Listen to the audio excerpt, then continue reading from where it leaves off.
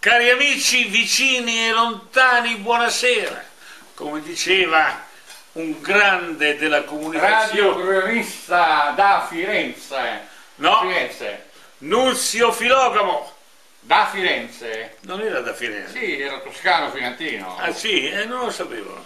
Nunzio Filogamo, dal vizietto. Aveva anche un vizietto, Eh, però era un grande. Eh, diciamo esempla- esemplificato dal grande Ugo Tognazzi. Esattamente. Eh, che poi il vizietto Ugo Tonazzi non ce l'aveva. No, assolutamente Eh, no, no. al contrario. Aveva il cont- 18 figli. Eh, Oh, non si sa. 5 riconosciuti, altri no, ma insomma, una quindicina di figli ce l'aveva. Esatto, e faceva bene. Alle, alle straniere attrici. E non solo, ma soprattutto tenendo conto che oggi in questa carenza di natalità eh, i figli di Tognazzi sarebbero stati ancora di più utili qualora Tognazzi fosse sopravvissute Eh no, alle sue imprese. c'è rimasto nella Eh, sua impresa, eh, quindi, quindi Allora- diamogli l'onore delle armi. Esatto. Allora qui prendiamo l'esempio da un testo recentemente dal sottoscritto recuperato, da cui sfogliando così come va va, come va va, perché il principio è quello, eh, ricordiamoci. Ricordiamoci che ci insegna cosa ci insegna la religione eh, eh, biblica, che tu come apri la Bibbia trovi sempre il messaggio che ti serve in quel momento, pregnante. sempre. Ad esempio, devi andare al cesso e leggi Il delle versetto 20.5.8 e ti dice come si defeca, esatto, feca. esatto. Ti dice sempre molto attenti a non scorreggiare troppo. prima. Cioè, Lo dice la Bibbia, quindi noi siamo perfettamente allineati. Allora, Ah, anche dice, perché ricordiamo sempre che la, la Bibbia dice tutto e il contrario di tutto. posto che lo dica, glielo fanno dire. Eh, Sono loro che lo fanno dire, mica io. Per me, Come dice il nostro caro esimio e egregio eh, amico e consulente Mauro Biglino. Sì, che dice che quello che c'è scritto sulla Bibbia e quello che ci fanno leggere sono pure cazzate ed ha perfettamente ragione. Allora, Sotto tutti i profili, tu storico, ge- geopolitici, eh, antropologici, eh, eh, archeologici, eccetera, eccetera. Allora, qui c'è un articolo che è stato pubblicato il 27 luglio 1974. Ripeto, 74. Dal grande Indro Montanelli. Le buone notizie di questo... personaggio molto scomodo sia a destra Sì, che a sinistra. esattamente. Ruvido, ruvido. Sì, con tutto che eh, eh, praticamente non era poi questo eh, granché di rivoluzionario, ricordiamocelo bene, però abbastanza scomodo perché lui si riteneva, ed lo era, e nei fatti lo è stato, è stato, stato l'ultimo in- interprete della grande sfida fiorentina che ebbe Del suo ventennio, tempo che parliamo del ventennio del Novecento. che anticipò Con i grandi filosofi, i che grandi, anticipò il grandi ventennio, pensatori, che anticipò il ventennio, con Prezzolini, Papini, Soffici e tanti altri che crearono proprio quel clima rivoluzionario e fermentoso che diede vita a tutto un movimento di pensiero. Voglio ricordare Viani, Alberto Viani, uno dei più grandi scrittori e pittori d'Italia e mi limito semplicemente a queste 4-5 personalità, Arturo Reghini che facevano parte di quella congrega che si riuniva in un particolare caffè, Caffè, che si chiamava Le Giubbe Rosse. Allora, adesso vi leggo che non quel- esiste più, eh, diciamo. No, no, c'è, c'è. C'è ancora? Eh. Dove? Le Giubbe Rosse nel centro di Firenze. Non me lo ricordo io. Vabbè. Se tu vai nel centro di Firenze, vedi che c'è questo che caffè che si chiama Le Giubbe Rosse, Dopo vi faccio vedere, cari amici, una, eh, dire, una cartolina che acquistai proprio alle Giubbe Rosse per farvi capire che quello era un posto dove c'era della gente che era veramente particolare, particolare e, e soprattutto controcorrente. Ma adesso vi voglio leggere questa, come dire, questo piccolo commento che faceva parte dei commenti che faceva Indro Montanelli sul giornale. Il commento è del 27 luglio 1974. Attenzione, il periodo seguite... in cui c'era il blocco della circolazione domenicale dovuta oltre... al blocco alla, del... crisi... alla crisi dell'OPEC esatto. de... dell'epoca. Mi ricordo benissimo quel periodo. Allora attenzione perché questo, guardate, lo devo dire ho preso questo libro perché mi sono riproposto per questo video di prendere un libro, di trovare qualcosa. Come ho aperto, ho trovato questa pagina, pagina 34. Carismatica, sì, eh? aperta pagina 134 tu vedrai l'importanza di questa pagina, compresi gli amici. Attenzione, perché per me è fondamentale, guardate ragazzi, io eh, mi identifico completamente con questa pagina. Le buone notizie di questi tempi sono così rare che sottrarsi al compito di registrarle sarebbe poco meno che delittuoso. Questa ce la segnala per telegramma uno sconosciuto lettore. Da ricordare che esistevano i telegrammi all'epoca. All'epoca, adesso non c'è più niente, fra poco non esisterà più niente. Caramella, mandarino, e poi? Eh, non me la ricordo. Manco io. Mortadella. Mortadella. Eh. Caramella, mandarino, mor mortadella. per semplificare la sintesi, la sintesi la grandissima sintesi di un atto luttuoso. Questa ce la segnala per telegramma uno sconosciuto lettore, dice sconosciuto lettore che poi dice il nome l'avvocato Enzo Filippi e ci auguriamo che si tratti di un nome e di un fatto veri. L'altra sera in un albergo di Sanremo si sono casualmente incontrati il figlio di Mussolini romano e questo non mi stupisce, essendo romano, ah, avendo pianista. vissuto romano come pianista, pianista sì. di un complesso jazz, jazz certo. e il figlio di Matteotti. Non sappiamo se Matteo o Giancarlo. Tra parentesi io ho conosciuto Se anche Matteo. lui jazzista o meno poi fra l'altro. Ah, io ho conosciuto comunque Matteo, ah, ah, che mi piacque molto tra l'altro. Ah, comunque.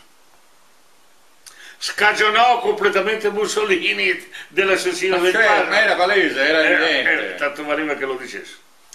Era la prima volta che si trovavano di fronte e si sono stretti la mano. No, ma lì sappiamo bene che Matteotti fu ammazzato dal re, dall'emissario del re. Che non voleva che, non che, voleva che, che si sapesse che l'amico, eh, quello che fa le... Che ci facesse no. l'unificazione tra il partito fascista No, ma soprattutto... E, soprattutto no, parliamo di soldi. Soprattutto che, Oltre... che venisse fuori la, la, la, la scoperta, la scoperta di, di, di, di, quella grande eh, scalatore che sì. scalò il K2, non mi ricordo mai come si chiamava. Ah, no, no, Ardito, Ardito Tezio, Ardito... Che, che, da, da, da, geologo aveva scoperto nel, eh, nella Tripolitania le riserve di petrolio che oggi la, la British Petrol va a, a, scavare. Che sono state Perché? l'origine della guerra che l'Inghilterra ha fatto all'Italia nel Nord Africa. E certo, e certo. Era sempre di soldi parliamo. Sempre. La storia è fatta sui soldi.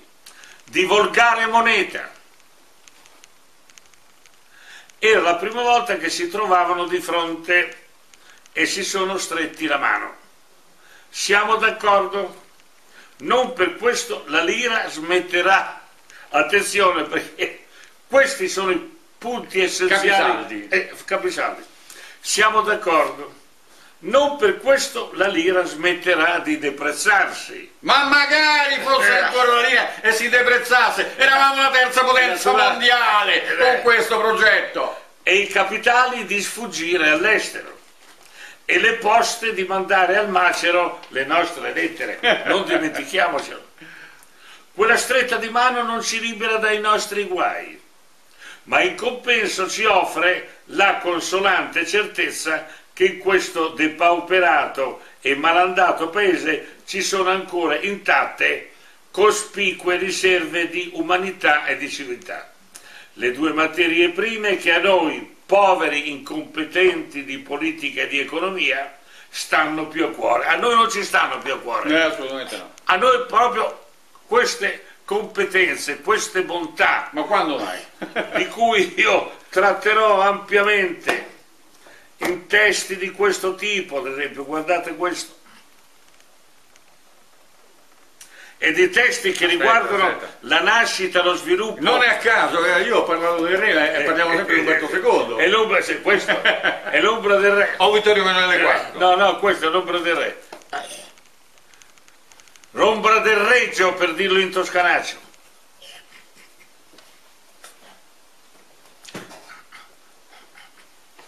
C'è un'altra battuta che è del luglio, 18 luglio 1976 che vale la pena di leggere.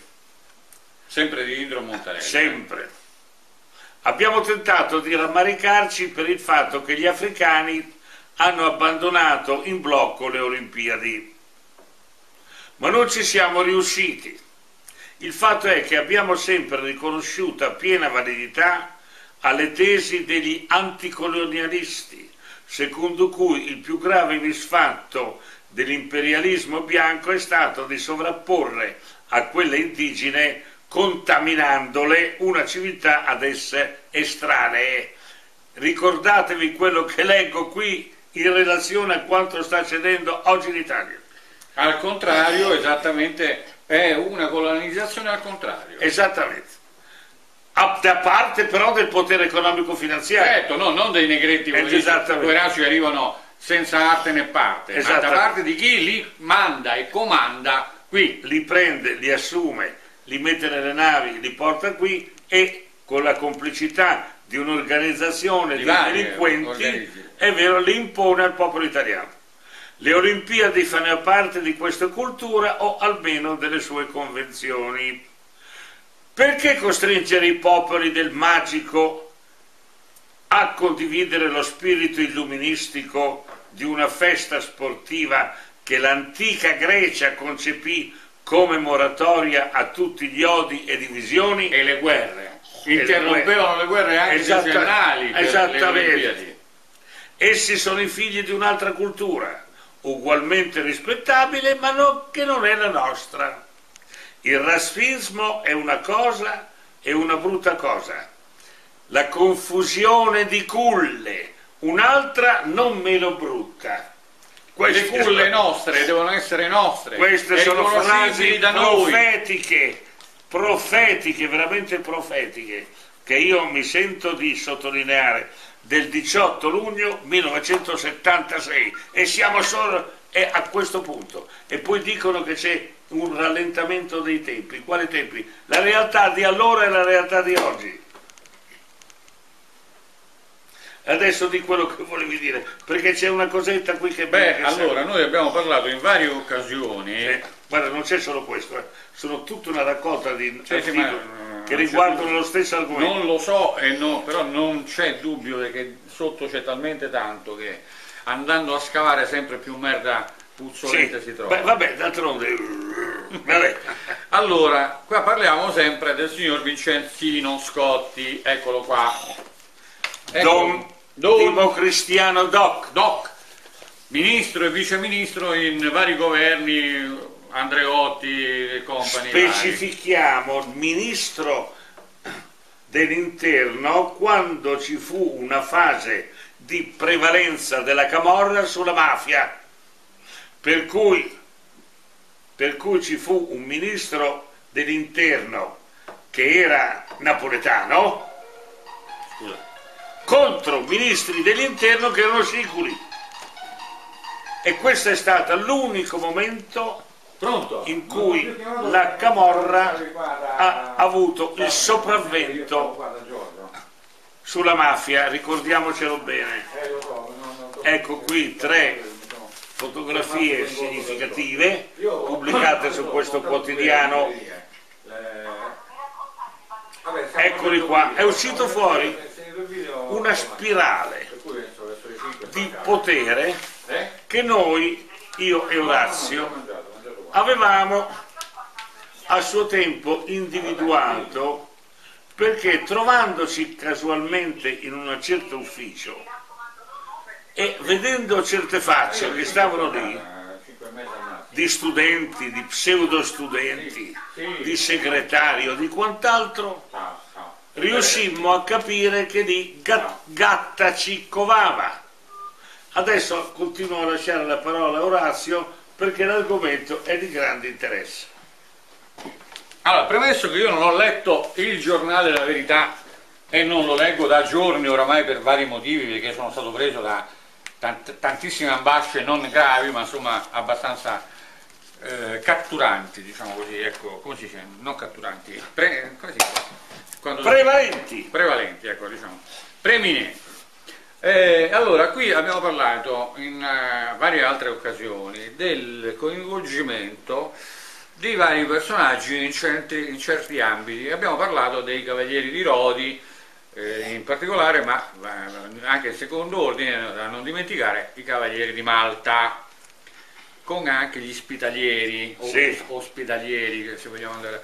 Quindi vari ordini di depredatori delle ricchezze del, del, eh, dell'impero d'Oriente quando nel 1254 assalirono Costantinopoli e la depredarono come fecero i Goti di Alarico, esatto. di, di Alarico qua a Roma nel 409 d.C. Noi l'abbiamo fatto nel 1254 ma abbiamo depredato tutto quello che c'era da prendere e questi depredatori non erano gente qualunque, erano principi, conti, cavalieri di vario ordine e grado che poi si sono riuniti in varie consorterie in particolare tre, cioè quella degli spitalieri, dei Cavalieri di Malta, Cavalieri di Rodi e eh, c'era un altro cavalierato, non mi ricordo più.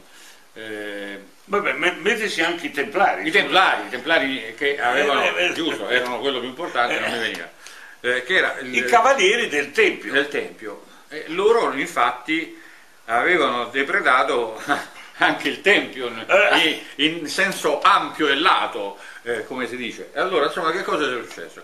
Che avevano fatto in man bassa di tesori inauditi che poi tornati eh, negli anni successivi in Europa, in Occidente, hanno incominciato a investire in operazioni bancarie, eh, in particolare bancarie, ma non solo, insomma, acquistando eh, feudi, acquistando eh, titoli immobiliari e così via.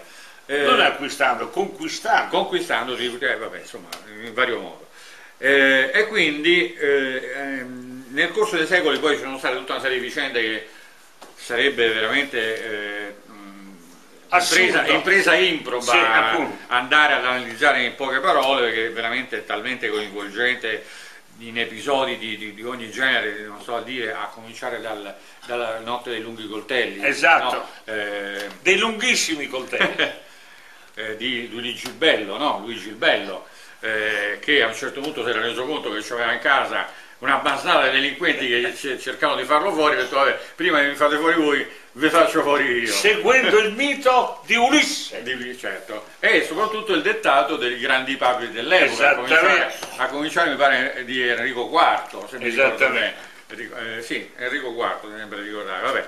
Comunque, fateci venia se qualche volta sbagliamo qualche data, perché insomma, noi improvvisiamo, insomma, non, è, non è, che, che, che, che, eh, mettiamo le cose dopo essercele studiate e preparate a puntino. Quando facciamo le conferenze facciamo così, ma qui non siamo in una conferenza, quindi parliamo a braccio. E quindi qui, oggi, eh, non so se è di oggi questo giornale, è di oggi? Il giornale è di sabato 9 novembre. Sabato 9 novembre dice, eh, va a richiamare alcuni eh, diciamo, eventi che noi avevamo già in qualche modo analizzato tempo fa e qui c'è in prima pagina un capo dei servizi segreti italiani disse a Scotti di far sparire Mifsud che è Mifsud? Diciamo Mifsud è un noto professore di questa notissima università che era Link, anche un grande spione diciamo Link Campus eh, che sì. viene, viene accusato dai, eh, dai, dai, dai nobilastri eh, cosiddetti democratici sì. no, del, del, Parlamento americano che dicono che il nostro caro presidente americano attuale di, eh, Trump, Trump. Donald Trump è, è diventato presidente attraverso gli artifici di questa lobby diciamo così sotterranea che avrebbe pagato russo-americana, italiana, come, come se non ci fossero mai stati, come se eh, questi, accordi, questi accordi internazionali Aiuto. da 200 anni a 200 anni a questa parte 240 eh, no, non ci fossero mai stati. Vabbè, allora insomma mi viene che ridere, come diceva un noto comico dell'epoca, non mi ricordo più come si chiamava, e, e praticamente adesso qui fa il pelo e il contropelo l'amico, eh, come si chiama il direttore della Verità, non mi ricordo eh. mai, ehm, Belpietro, eh, Belpietro eh, che eh, appunto ri, ri, eh, ricapitola e reitera diciamo, questo argomento. fai vedere anche degli altri che ti avevo messo lì, perché la questione è una questione molto grossa. Assolutamente sì. Cari amici, perché questi continuano a rompere i coglioni dicendo un sacco di cazzate. Ecco qua. Ecco e qui c'è scritto tutto. Ecco qua, questa è un'altra ma questo è solo uno eh, guardate qua cioè qua ci sono questo, intere pagine eh, diciamo no Mifsud di... risulta è, è, è nascosto a Matelica eccolo qua Matelica in provincia di Macerata, Macerata ecco. in, ma, nelle Marche sì. dove trovarono il tesoro Oh. il tesoro nascosto sotto terra, oh. quello in oro, è un tesoro enorme. Che cazzo di fine ha fatto quel tesoro? Ah, non si sa, non si sa. Non si sa. Oh, era, erano quintali d'oro, sì, eh, c'erano armature intere d'oro. Eh, il tesoro misconosciuto, non ne parla mai nessuno. Parliamo di quintali e quintali d'oro in opere d'arte, in piatti, vasellami, statue, armature. No. Ma lì eh, ci hanno messo, ci hanno messo hanno, l'hanno praticamente a Mifsud, che gli hanno fatto? L'hanno scarnificato No, l'hanno trasformato in capro espiatorio, uno dei capri espiatori. E l'hanno messo insieme a quel tesoro. Cazzo lo sai tu che cosa fanno i preti? E poi che cosa trovarono? Racconta, adesso no, vado a prendere un'altra cosa. Racconta agli amici i tesori in, in volgari dollari che da quelle parti circolavano. Perché lì, oh, Materica, siamo due passi da dove fu dire? trovato. Che vuoi dire? Do, Io non lo so che fine ha fatto questo tesoro, è stato no, lascia. Sì, il eh. tesoro, lascia stare questo tesoro che non si No, di cui non se ne parla mai, nessuno dice un cazzo di niente. Ha un tesoro di, di altro che il tesoro di, ma, di, ma di, sto parlando dei beni delle casse di, oro di Mussolini, ma di, di, il tesoro di come si chiama? Il tesoro di di Dongo. Dongo, ecco, scusa, non mi veniva la parola. Sì, no. Ecco, Dongo. Che, allora, di tesoro di Dongo si sa quasi tutto oramai. Ma di questo tesoro qua che è 10.000 volte più importante anche sotto il ritrovamento storico-culturale, artistico. Oh, parliamo del tardo impero, eh, parliamo della fine dell'impero romano. Eh. Io sto parlando a questo punto eh, di un altro tesoro, dei buoni del tesoro statunitensi. Ah! che circolavano da quelle parti. Ah, è vero, bravo. No, allora, eh, aspetta, qui, raccontano eh, beh, qui bisogna entrare nel dettaglio. Sì, allora. vado a prendere una. Allora, a partire, allora tutti parlano delle crisi eh, periodiche che eh, assalgono come se fossero delle influenze, eh, delle, delle mh, febbri influenzali che assalgono le borse internazionali e poi i mercati internazionali in, in generale e poi le economie industriali, economico-commerciali dei vari stati. La cosa incredibile è che nel corso di, di, di ormai molti decenni, per non dire secoli, ormai è diventata una metodica strutturale, è diventata una metodica ampiamente studiata e eh, diciamo, eh, individuata nelle sue fasi essenziali, quindi scomposta anche nei suoi elementi essenziali, per cui oggi l'economia e la finanza dovrebbero prevedere tranquillamente, senza nessuna difficoltà e senza nessuno sbalzo, nessuno contraccolpo di nessun genere, le eh, crisi eh, finanziario-monetarie, eh, economiche e quant'altro dei vari stati. Invece questo non avviene. Ma la cosa incredibile è quello che adesso stiamo, sto per raccontare che Giorgio eh, confermerà. Praticamente nel 1930, allora, no, andiamo, andiamo, un po' più indietro. Nel 1939, ah, ah, no, aspetta, bisogna andare un po' indietro. Bisogna ritornare alla guerra del Kuomintang. Del Kuomintang. Esatto, Kuomintang. Perché? Perché bisogna ricordare, dice che cazzo c'entra il Kuomintang con questo, e mo ci arrivo. Perché eh, come era che dicevano, un frullo d'ali di sì. farfalla in Oriente crea... Non è che un... lo diceva, lo diceva Einstein. Eh certo, ma è vero. Eh beh, infatti... Crea un vortice, un, uno tsunami in Europa Esattamente, bravissimo. E viceversa. Che è successo? Quindi, quando ci fu la diciamo, guerra civile. I, prodromi, I prodromi, fin dall'inizio, a partire dal 1905 e poi successivamente della guerra cino-nipponica russa e eh. poi quella, eh, la guerra civile cinese all'interno a partire dal 1915 in poi ci, con tutta una serie Chiang Kai-shek sì, contro Mao Zedong certo. ambedue cognati no, ambedue cognati tra di loro non ambedue tra di loro. tra di loro allora il bello è fi, mariti di sorelle. Allora, un, un, un po' estroverse queste sorelle, no? Diciamo, vabbè. Allora, la cosa incredibile è che attorno al 1925 qualcuno del Kuomintang, cioè di eh, Chiang Kai-shek, del, della fazione di Chiang Kai-shek, pensò bene di finanziare la guerra interna, la guerra sociale, la guerra loro civile cinese, con l'acquisto di buoni del tesoro americani, cosa che avvenne nel 1932, nel momento in cui la borsa di, Wall Street era al punto più basso in assoluto quando, da quando esiste.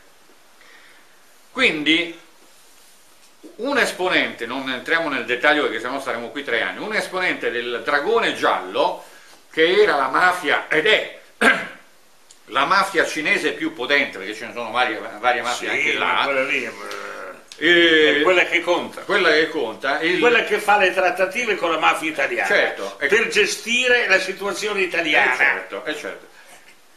Allora, anche perché adesso ormai le mafie si sono sostituite ai governi, come possiamo constatare giornalmente. che ci stanno seguendo lo sappiano allora, e lo capiscono. Allora, le mafie quelle vere, intendiamo, eh, non le mafie così, diciamo, teoriche, no, ipotetiche eh, allora, questo, eh, questo, emissario del Kuomintang, dragone giallo, andò a New York, portò una serie di bauli di oro raccolti nelle varie fasi della, donato, de, della donazione o depredazione a secondo delle situazioni durante il grande percorso della, della guerra di movimento che ci fu esatto. all'epoca.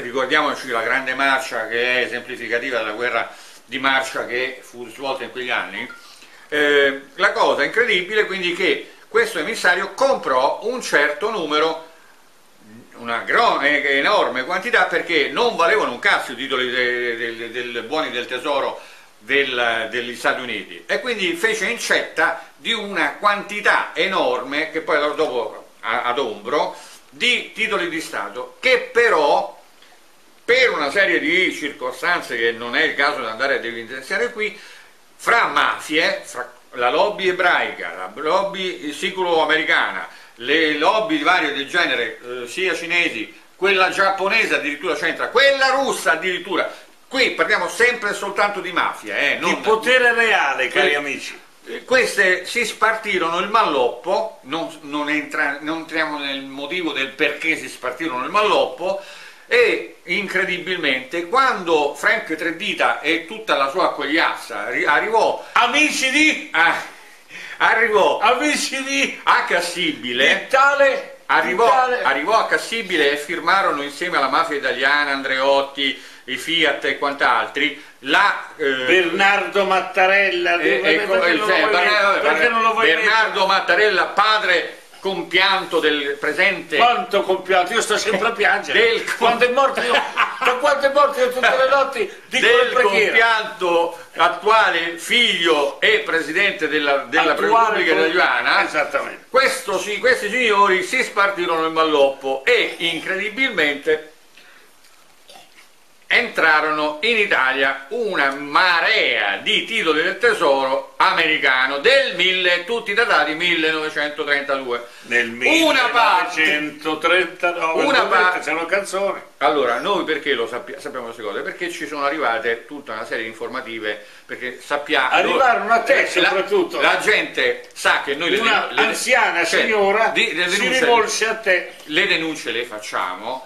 le pubblichiamo anche a rischio delle nostre eh, palle, sì, per non dire altro. Soprattutto palle, perché danno fastidio a certi nostri amici che le palle Sono non ce le hanno, non ce le hanno con le palle. e li vogliono invece Castrare, per il di dietro. Capito? Allora, niente, eh, una signora, un'anziana signora, eh, ci eh, coinvolse un badante, anzi una famiglia di badanti di un'anziana signora di cui noi abbiamo nome, cognome, estratti conto dei conti correnti, paternità, tutto, maternità, luogo di nascita, tutto quello che c'è da sapere sia dell'uno che degli altri due.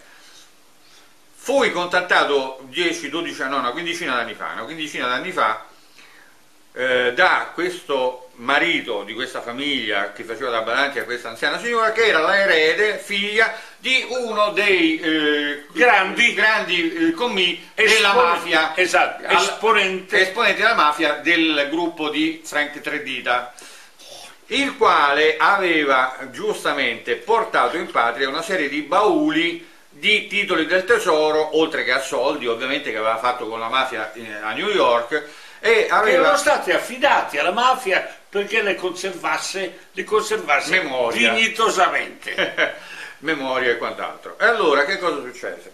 Successe che questa signora ereditò, questa signora anziana, eh, morta attorno al 2002-2003, eh, eh, ricevette in eredità dal padre che lei non voleva manco sapere come aveva fatto questi soldi, esatto. perché era santa donna che andava quattro volte al giorno in chiesa una beghina, come dicevano sì. volta, no? Eh, eh, nota beghin de beghin, ma no, beghina... Ma, ma, è la stessa cosa. eh, più o meno. Vabbè, insomma, eh, che cosa è successo? È successo che questa signora era eh, Perché assistita... quando andava nella chiesa gli facevano cantare Beghin de Beghin le litanie su quel ritmo. Grande ritmo eh, Fox eh, dell'epoca, Fox, Volpino, Volpino, un titolo Volpino. Eh, allora, che cosa successe?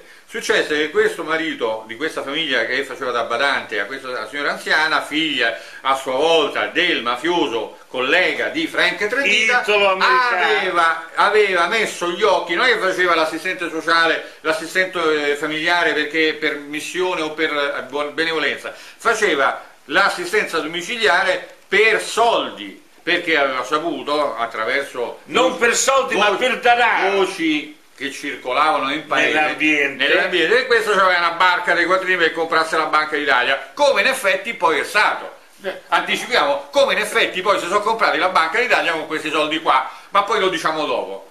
Eh, Dicevo, ma chi è che si è comprato? Ma, no, ma quelli che guardano. Chi è che si è comprato la banca no, d'Italia? Dopo lo vediamo. No. Dopo lo diciamo. Ma quelli che ci guardano li diranno questi sono pazzi scatenati. Eh, vabbè, prendeteci per pazzi scatenati se volete, ma questa è pura verità. È puro. Eh, noi abbiamo i documenti, non è che diciamo cazzate tanto per dire. Vabbè, non è che ce li abbiamo noi i documenti, ce li abbiamo a disposizione, in qualche posto in giro per il mondo c'è un server dove questi documenti stanno là. Quindi a scanso di qualunque nostra ritorsione contro di noi, noi sappiamo le cose che possiamo tirare fuori in qualunque momento ai nostri cari amici che ci stanno molto tampinando da vicino. Esatto. Giusto? Allora, quindi questo signore mi chiama, mi contatta, mi dice, oh, guarda che questa signora qua è andata a cercare i conti correnti, gli sono spariti 10 conti correnti e una ventina di cassette di sicurezza con dentro un sacco di cose. Di quale banca? Della banca del Santo Spirito. Pari attualmente a Unicredit. Ecco, che sappiano i nostri oh, amici. In cui, in cui a un certo punto eh, in parte c'erano eh, i conti correnti ancora in un certo momento, poi a un certo punto gli estratti conti non sono più arrivati, poi più le, le visite alle, di, alle, cassette di sicurezza non sono state più autorizzate, insomma tutta una serie di cose per cui praticamente il direttore della filiale della, della, dell'Agrigentino dove stava questa signora, che aveva questa anziana signora che è morta, e praticamente si sono ritrovati eh, quelli che sono stati nominati poi eredi dalla, dalla signora anziana che non aveva figli, non aveva eredi, sono stati nominati questo marito e moglie, i quali sono andati lì e non ci hanno trovato più un cazzo. Che era ma voi che volete? No, hanno fatto intervenire la Guardia di Finanza, la quale ha dovuto riconoscere che effettivamente c'erano le, le, cassette di sicurezza, che c'erano i conti correnti da cui sono spariti titoli, eh, cifre in, in, inenarrabili di, di, di, denari che non so a dire. Comunque, quando tra l'altri ci si intende. Ma quando poi si viene a sapere che un certo signor Profumo, quando profuma, che profumo quello inglese che si dovette dimettere, lo ricordi? Me lo ricordo Profumo, perché c'era scopato, c'era scopata una, strozzetta in, in Inghilterra. In Inghilterra qui la pigliano e nessuno dice niente. Vabbè, con la benedizione del Papa per inteso. Allora, sì. a, a, un certo punto che è successo? Che eh, allora, qui è, è, una supposizione del tutto diciamo, eh, molto legittima, legittima, molto legittima. E lì è possibile quindi che quelli che facevano parte dell'establishment del, della mafia a cui apparteneva il padre della signora defunta ultimamente, qualche anno fa, eh, che magari hanno detto qui va a finire male, togliamo da, da, da, dal possibile eh, ritorsione di qualche avversario o anche dello Stato, togliamo questi eh, buoni del tesoro americani, per cui li hanno fatti sparire loro o viceversa. Ma si trovavano in giro, erano dappertutto. Mo ci arriviamo, calmo. I due giapponesi. Mo ci arriviamo, mo ci arriviamo, calmo. Eh, allora, lì eh, che cosa è successo? Che non si sa adesso chi l'abbia fatto, il responsabile la, eh, o meno, comunque eh, hanno fatto sparire questa montagna di titoli e montagna di denaro. E però in quello stesso periodo c'erano vari personaggi che incredibilmente hanno fatto scalate assolutamente impossibili normalmente. Certo. Perché per fare una scalata alla Banca d'Italia ci vogliono i soldi, ma tanti soldi. Certamente. E invece questo signor Profumo, che cosa è successo? A parte il fatto che poi è diventato pure ministro. No? Detto anche Santo Puzzo. Vabbè, insomma che cosa è successo? Che questo signore a nostro, a nostro modesto avviso si è appropriato di parte, se non di tutto, eh, certo. del malloppo di questa signora qua e eh, anche perché ci sono dei riferimenti, adesso non sto a dire insomma, cose importanti, cose eh, veramente eh, rilevanti. Ma erano lì, se e. Eh, e questo signore poi da presidente del Banco di Santo Spirito e poi da presidente eh, dell'Unicredit, incredibilmente ha tirato fuori 240 mila miliardi di lire, 240 mila miliardi di lire per comprarsi l'Unicredit nel 95-98, una cosa del genere. Cioè una cosa da allucinante, allucinante cioè, non escono fuori quei soldi così a caso. Infatti, poi, a distanza di qualche anno, ascoltate questa che è troppo bella. Un giorno la Guardia di Finanza che non controlla mai un cazzo, scopre casualmente. No, mentre stava, a un certo punto c'era il treno di pendolari che da Milano andava a Chiasso, in Svizzera, no? pendolari, che tutti i giorni andavano, quello è un treno di pendolari, però quel giorno su questo treno di pendolari, cazzo, c'erano il cognato del ministro del tesoro giapponese e un'altra persona, adesso non mi ricordo più chi era, sempre anche lui giapponese. No, coreano, era un coreano. E incredibilmente in questo treno di, di, di transfrontalieri, cioè di operai, di impiegati, di lavare, Incredibilmente c'erano questi due, fratello del ministro del tesoro. Era il cognato, già, non il fratello. Ah, cognato, sì, cognato, il, cognato, il, cognato, il, cognato, il cognato del ministro del tesoro eh, giapponese e un altro che adesso mi sfugge, un coreano, con una valigia diplomatica al presso.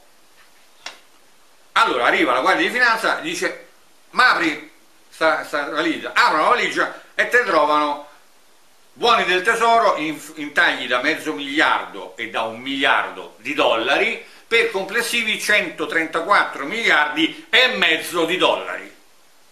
Cioè uno va a spasso con una valigia con 400... Come si diceva, passeggiando per Milano, passeggiando piano piano.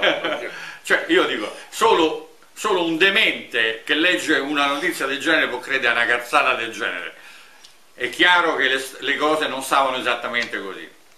Insomma, però vengono fermati, la valigia gli viene sottratta, poi vengono, eh, su intervento del Ministro del Tesoro o del, del, di Berlusconi, del compiacente, del, del compiacente Berlusconi. quali erano state trovate? Aspetta, aspetta, che ora ci arriviamo, anche il Berlusconi. Allora, tutto questo è vero, è vero, ci sono gli atti, ci sono i documenti. Allora, allora questo signore viene fermato poi rilasciato per l'intervento del, del, dell'ambasciatore eh, nipponico a Roma e eh, soprattutto con l'intervento successivo del signor Berlusconi. Come si chiama Berlusconi? Di cognome? Di nome? Di nome? Eh. Ah! ah. Come si chiama Berlusconi? Come si chiama? Ah! Ah! non me ne metto. Filippo, Filippo. Ma quale Filippo? Come cazzo si chiama Berlusconi? Perché ha un nome come un altro? No? non mi viene in mente. Vabbè. Vabbè. Il caro Berlusconi interviene e dice fermate tutti buoni che poi arrivo io, me la vedo io. Che pensi mi? Che pensi mi? Che pensi mi? Il padre si chiamava Luigi, il padre di Berlusconi. Ah, beh, lui non mi riesco a ricordare eh, eh, come cazzo si chiama. Il padre si chiamava San Luigi. il padre dei Berlusconi che ha fondato la banca, eh, ricordiamo, cioè, con i soldi della mafia. Esattamente. Eh, il, Papa di, il, papà, il Papa è la stessa cosa di Berlusconi. Vabbè, insomma, creatore del movimento sempre, dei Berluscones. Non lo mettere sempre sull'ilarità, eh. la cosa qui è seria. Insomma, che succede? Che eh, quindi la Guardia di Finanza sequestra questi 134 miliardi e mezzo di dollari in buoni che praticamente sono dei, dei sono come dei fogli, fai conto come questo qua, chiusi in quattro, in quattro così con la cera lacca e, e, e, il, e lo sputo, lo, no, lo... il cordicino che lo chiude. E, I titoli al portatore de, dello Stato sono quelli, soprattutto quelli da un miliardo di dollari, ognuno. Allora, ehm, Viene quindi fermato, questo qui viene poi rilasciato, viene sequestrato e il, la valigia con, la, eh, con i, 4, i 30, 134 miliardi e mezzo di dollari in buoni del tesoro arriva a Roma. A distanza di anni, nel corso degli anni è stata domandata l'esito di questa cosa, non si sono più ritrovati, però, però nel frattempo interviene la Banca d'America, la Federal Reserve manda i due tecnici il giorno dopo, quando ancora stavano a Chiasto, arrivano i due tecnici e dicono no, sono falsi, così è d'amblè, sono falsi. Allora, da tenere presente che c'è un numero di matricola, un numero della firma autografa del presidente dell'epoca del governatore chirografa si dice chirografa, la firma chirografa chirografaria e e poi anche la firma del governatore della Federal Reserve e poi la firma dell'anima degli mortacci sua, ma tutte, tutte false. Manca solo la firma del Papa. tutto falso, tutto falso. Manco l'hanno guardata tutti. Allora, da, tenere presente che sono tutte del 1932 o 34. Eh, perché? Allora, andiamo avanti, finiamo qui. Quindi poi eh, arriva, ah no, nel frattempo i tecnici della Banca Italia hanno detto no, so vere, perché avevano visto, verificato tutte le varie cose, avevano verificato pure le, la lacca, il timbro, era tutto regolare. Però arrivano questi tecnici della Banca della Federal Reserve e dicono no, non è vero un cazzo, non è vero, non sono buoni. Aspetta. Arrivano a Roma, dopo l'arrivo a Roma, nel frattempo Berlusconi dice, telefona a chi c'era allora Bush, Sì, Bush, 2009, Bush, Bush. c'era Bush, telefona a Bush e dice oh Bush, guarda che qui abbiamo 134 miliardi e mezzo di, dollari, che dobbiamo fare? Dice guarda io ti devo dare 60 miliardi per quell'affarino che, sì. che ti dovevo dare, qua ce ne sono 134, facciamo la compensazione, me ne devi dare 70 te. No? Al buon Bush. Al buon Bush. A che allora, oggi non si sa che cazzo di fine abbiano fatto 634 miliardi e mezzo.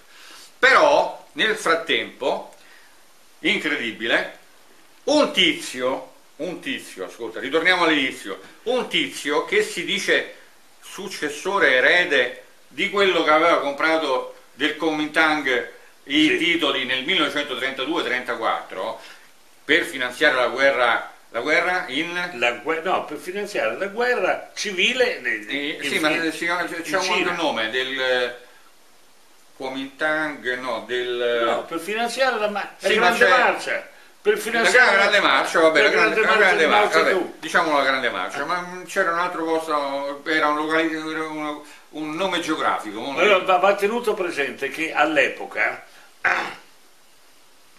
la Cina era preda di scorribande di personaggi piuttosto strani che si chiamavano appunto i signori della guerra, guerra certo, certo. e questi signori della guerra in un modo o nell'altro hanno partecipato di questo saccheggio. Certo, ma certo. Eh, certo. Allora, per tornare a noi, uno che si di dichiarava erede di questo che aveva comprato i titoli del tesoro nel 1934, eh, si è affacciato a New York, è andato dal procuratore, dal, dal procuratore eh, come si chiama in America, non mi ricordo mai eh, il procuratore capo della, no, eh, altro... della Corte di New York. Vabbè, non mi ricordo, vabbè. Viene imbastito un processo e fra le altre tante cose abbiamo, di cui abbiamo detto e di altre che non abbiamo detto perché talmente ci si potrebbe tranquillamente scrivere dieci romanzi di, di James sì, Bond so, sì. sopra perché c'è mezzo mondo coinvolto. Solo che James Bond non riesce mai a impossessarsi delle monete, questa è la differenza, ah. con grave scasso, della regina. Della regina Allora, tornando a noi, questo qui quindi va in tribunale e pretende il risarcimento dei danni e lo pretende anche contro Berlusconi, che dicevo quei 134 miliardi e mezzo che ha Berlusconi che ha intercettato, sono i miei, eh. me l'ha dato il mio bisnonno, capito? Per cui Berlusconi il processo è andato avanti nel corso degli anni, a partire dal 2001, nel 2010 è stato condannato a 20 anni di carcere il signor Berlusconi. In America. In America, per cui se mette piede in America... Non va in America, cioè, dice perché non vai in vacanza in America? Perché preferisco andare in Ucraina, in Portogallo. Capito? Allora, per tornare poi a concludere, diciamo perché sennò andiamo troppo, ci dilunghiamo troppo, allora, di questi titoli del tesoro, del buo, dei buoni del tesoro americani del 32-34, ascoltate, eh?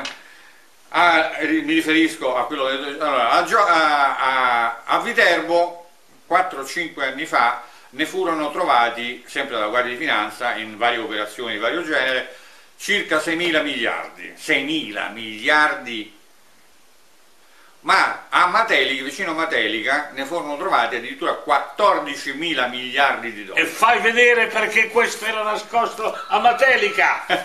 Eccolo no, qui! Dillo te, dillo te. E sono allora, dillo te. Eh, un capo dei servizi segreti italiani disse a Scotti di far sparire Bifsud e dov'è sparito? Nel caso a Matelica. Ma guarda che strano, eh? Mifsud chi no, sei allora, no, bisogna, bisogna, dire una cosa. Allora, bisogna dire una cosa.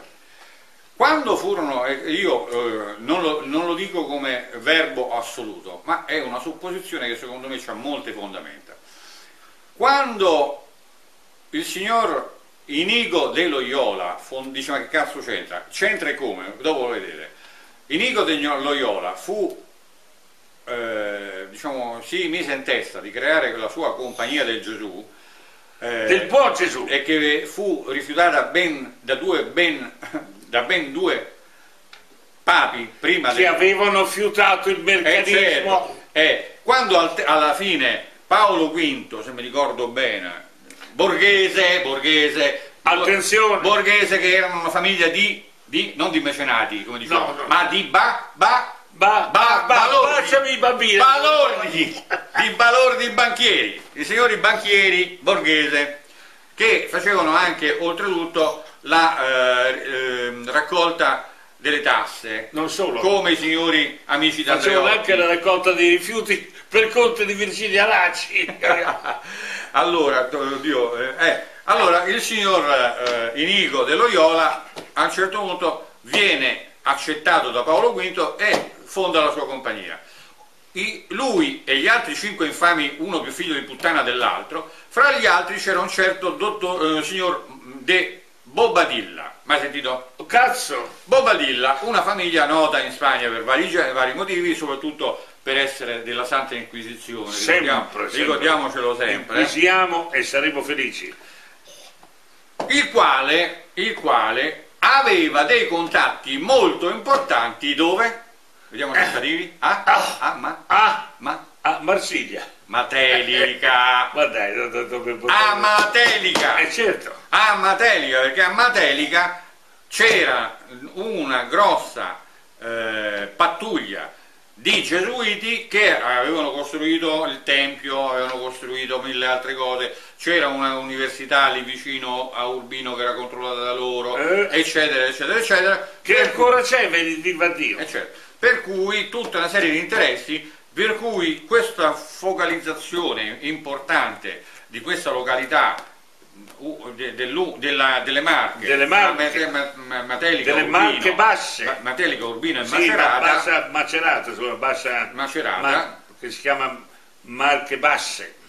Lì c'è un paese, adesso non mi viene in mente il nome esatto, che è praticamente controllato dagli eredi, però vediamo, vediamo se c'è degli eredi di un certo eh, Silveri, Silveri, Silveri? Aspetta, allora no, Silveri? Aspetta. Eh, Silveri e poi... Do, doppio cognome. Eh, Silveri? Eh, ah. Conte, Conte Silveri? Guardatelo qui, è qui, eccolo qui! hai capito! È non l'hai capita! È qui! Non l'hai capita! È qui! Facciamolo vedere bene? Facciamolo vedere bene. Ecco qua. No, dall'altra parte. Ah, scusa. Ecco qua.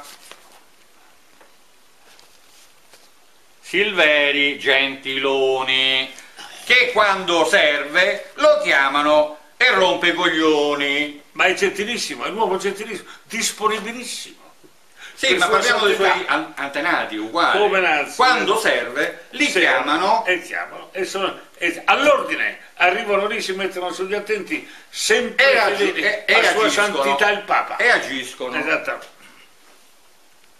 Avete capito cosa significa? Allora, la somma di tutto questo in euro, o meglio in dollari, è l'equivalente di circa 100 mila miliardi di dollari. Ma 100 mila miliardi di dollari del 32 che oggi andarla a riscuotere quei buoni tesoro ce devono dare un milione di miliardi di dollari come minimo per non dire 3 o 4 che tanto non te li daranno mai quindi, tre, che hai dove è andato a finire il debito pubblico americano? Eccolo lì 3-4 milioni di miliardi di dollari. Per il tramite. Per cui basterebbe se uno fosse, cioè fosse un governante con le palle no, se fosse un governante o, minimamente decente. Decente e dire guarda un po' ah caro Trump ci abbiamo quello che aveva tentato di fare Berlusconi ma farlo con maniera seria. Dice guarda un po' noi abbiamo circa un milione di miliardi di euro da mettiamoci d'accordo. Che vogliamo fare?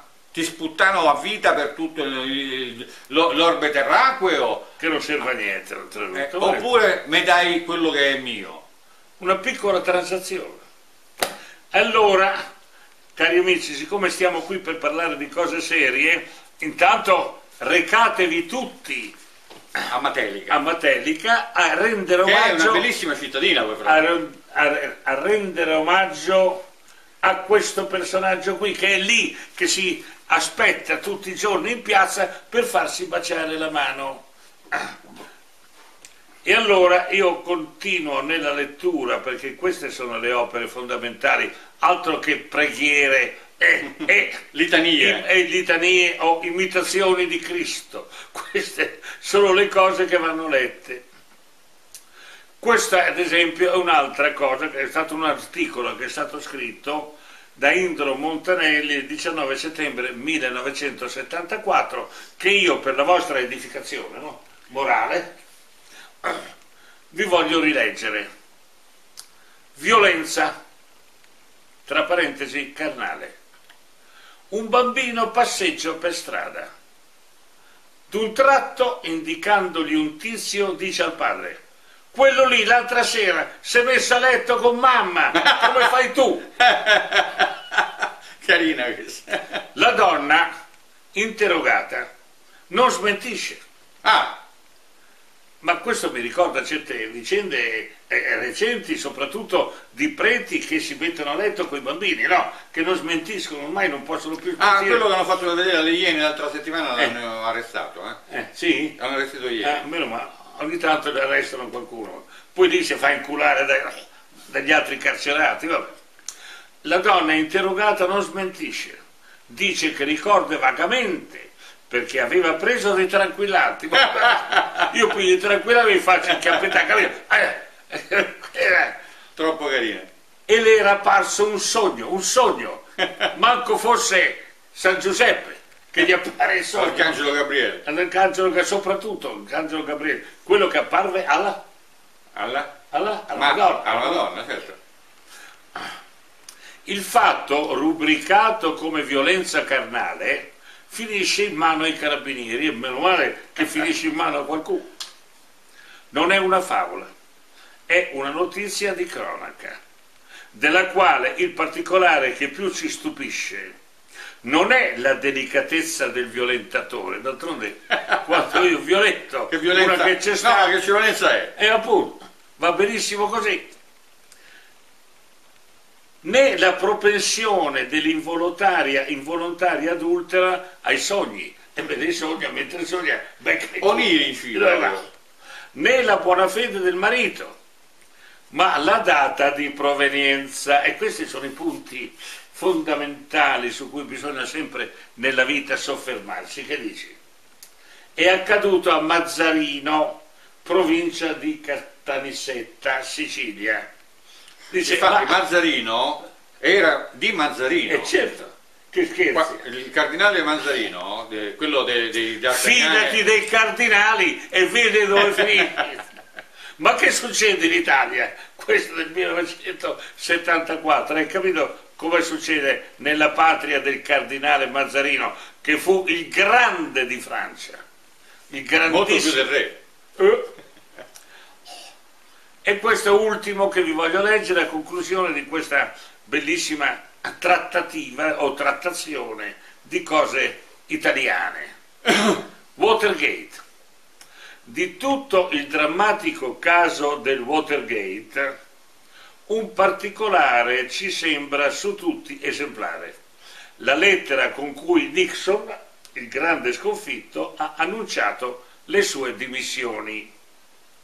Caro signor segretario, con la presente rinuncio alle mie funzioni di Presidente degli Stati Uniti. Sinceramente, Richard Nixon, così farebbe.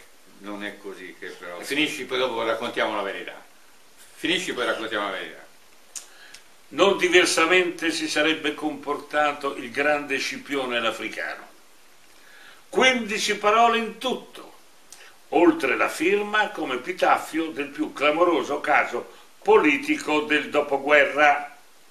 Vorremmo proporre questo modello di sobrietà ai nostri uomini politici, se non fosse del tutto inutile. Ecco, prima di tutto perché in 15 parole a loro non riesce nemmeno a chiedere un bicchiere d'acqua. È questo il punto che io Secondo perché le dimissioni essi non le daranno mai. È il 13 agosto 1974. Allora, la storia di Nixon è una storia di soldi, sempre una storia di soldi, di gestione dei soldi, di gestione della Federal Reserve, eh.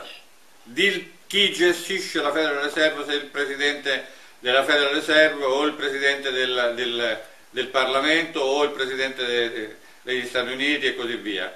E soprattutto perché aveva fatto una riforma che non andava così bene come avrebbero voluto i bancari. capito? Tant'è che poi dopo hanno fatto una serie di modifiche, è inutile dirle. Basta, dai, chiudiamo. Oh. Ah, vabbè, io ve ne voglio leggere un'altra e con questa concludiamo. Gatto.